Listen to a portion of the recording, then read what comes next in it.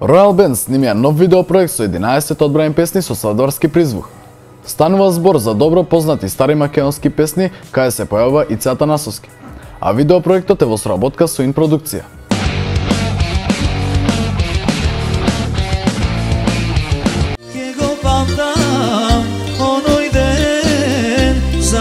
Последен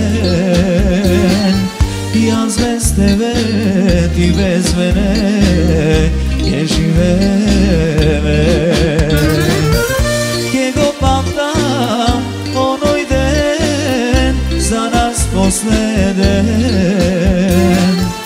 Јас без тебе, ти без мене Ке живееме Деновиве битолскиот Royal Band во соработка со им продукција. Снимија нов видеопроект во живо.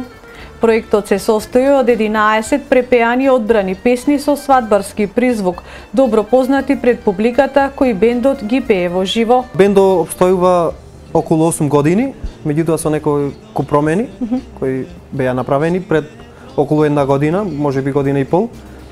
Така да да ги представам ако може. Да, да, може, А. Роберт Волчевски, Така. а, вокал, Александар Смилевски тапани, а, Илче бас клавиатура, така и моментално соработуваме со мајстро Ице Така. Атанасовски. Околу тоа како паднал изборот за во кавер верзиите да бидат отпеани овие песни.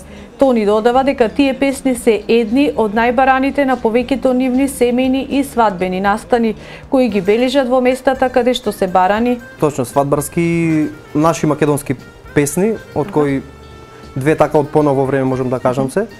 А, се одлучивме на овие песни затоа што пред се сакам да зачуваме македонската музика. Така. А, имавме многу двумења околу тие песни кои да ги одбериме.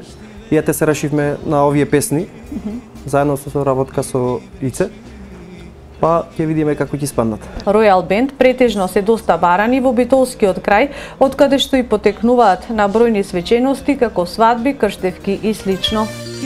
opravdam onoj den za nas posleden. Ja bez tebe, ti bez mene, ke živeve Ke go pamtam onoj den za nas posleden.